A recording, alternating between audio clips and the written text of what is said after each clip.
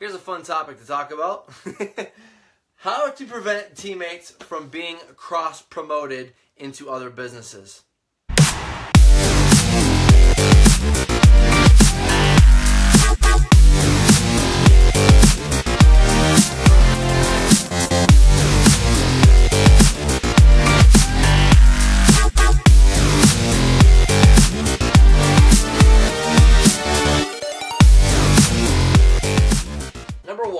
You have two options when, when this stuff happens, okay? Let me just bring this up. You have two options. What you can do is you can wish the best, you know, wish them the best, tell them, oh, you know, I love you. You know, it kind of sucks that it happened, but, you know, I totally understand. So you either wish them the best or you be a fucking dickhead, right? You be a jackass to them. So, or be a hater. You have two options. You can either tell them, you know, it kind of sucks. That's what's, what's going on. I completely understand. You know, shit comes up. I know that you're going to make the best decision for your family. I still love you. I still care about you. I still wish you all the success and happiness in the world.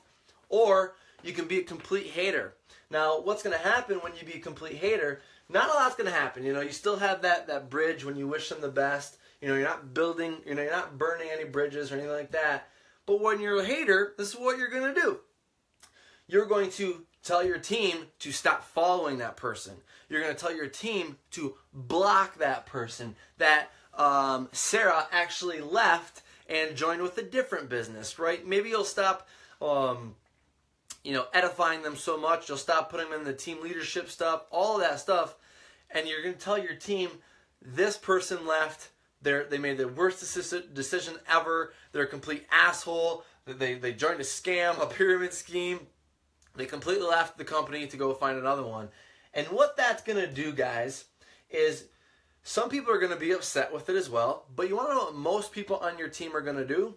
They're going to go, whoop, let's go see what they're doing, right? Because they're a leader in your team, right? So it's kind of like when I tell you, don't think of green, what are you going to do? You're going to think of green. So if you're telling people, go block them, don't talk to them, don't have anything to do with them in your life, even though for the past three or two years. They've been an absolute um, blessing to have in the family. Now they suck. So don't go follow them. Make sure you block them, all that. All you're going to do, all that you're going to do is drive traffic and leads to the, the person who left. It's, it's honest truth, guys. You really are going to. Um, so, what I would recommend is instead wish them the best. Make it no big deal. All right. Now, what you can do when when this does happen is is well to prevent this from happening, guys. And this is where the green grass is coming in.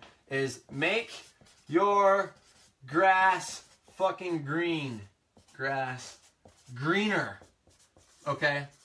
So, what I mean by that is kind of that feeling of having a small team, big love culture, right? You know, it's going to be really important that you make it make your grass greener than it is. So if people are like, oh yeah, over in B it's looking kind of green, fuck that. You water the shit out of your field every day. You put plants down, you put some hay down and shit. You shine some sunlight on that bastard all day long. I don't give a shit what's going over on field B because over here, this grass is greener over here. So make your team environment a massive amount of love, right? You know, um, it could be things like doing team calls once a week, or doing team recognition once a week, or um, having a team dinner or a team event that people can come to. When you're having a lot of fun and you're showing people that you really love them, they're not going to be looking at the other side of the field, right? They're not like, I don't give a fuck what's going on over here because it's, it's so much cool shit's going on over here. It's like when you have a girlfriend or a boyfriend, right? You're not you're not looking at any other ass when yours is already good, right? You know, you're, you're content, you're happy, everything's going great. You know, she cooks, she cleans, she she takes care of you. You're not gonna look at any other girl. So make sure that your grass is green as shit, and so that if so when people go to be like, oh, what are you looking at? Doesn't matter. Our team is awesome, right?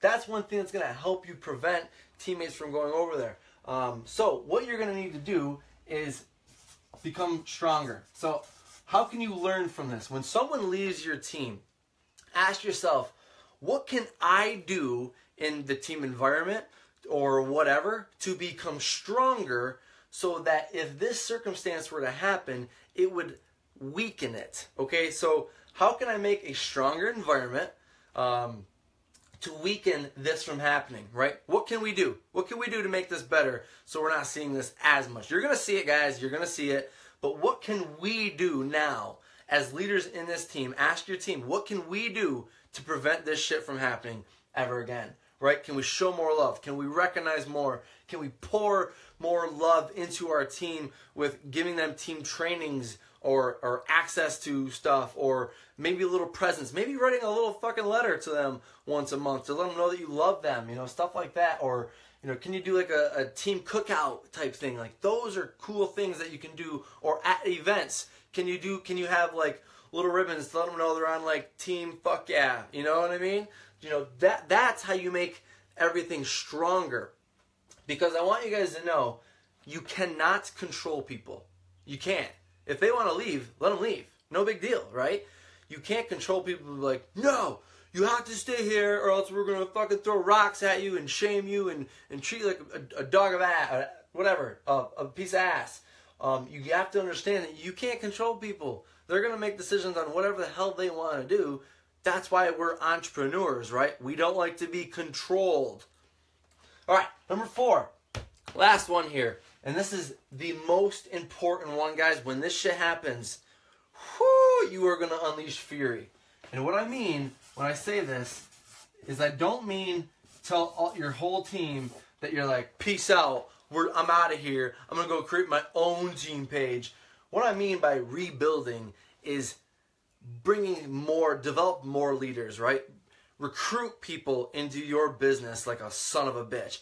Have, if this happens, guys, have the best month that you can ever have in as far as bringing people onto your team, having customers, um, having results, right? Um, being the best fucking boyfriend or girlfriend you can be, um, paying your goddamn bills on time, being consistent with personal development every single day. Like, be the, the fucking top notch that you've ever been and show them, like, hey, I ain't affected by that bastard leaving. Who gives a shit? They got, they have their own little vision we got ours, right?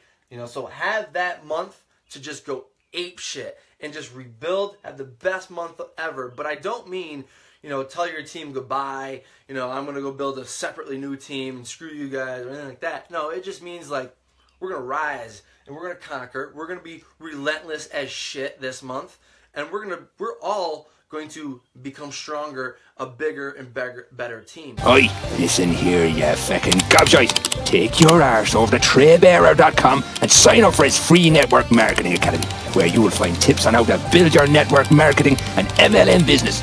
If not, well, you can go fuck yourself.